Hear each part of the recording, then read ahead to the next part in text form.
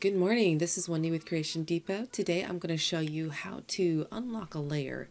If you're getting an error that says could not use the move tool because the layer is locked, it's a very simple problem to solve, but there are a couple of things with it, so I wanted to go through those with you.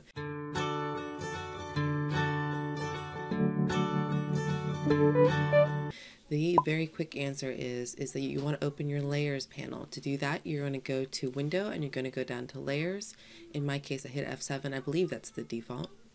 And then you come over to your layers panel and I've got different ones selected here so you can see the different colors. The problem that you're running into is that under the lock, your lock layer icon see right here is going to be highlighted. So all you have to do is unhighlight it and then you can move your layer around.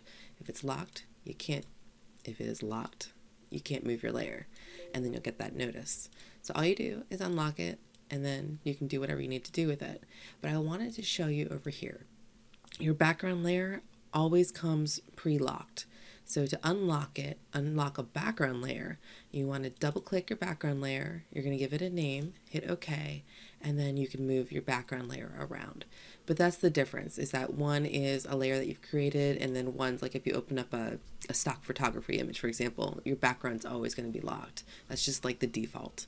So that's it for now. I hope this has been helpful. Please give it a like to to help grow the channel. I appreciate it. And please consider subscribing, and I will talk to you later. Thank you so much. Bye bye.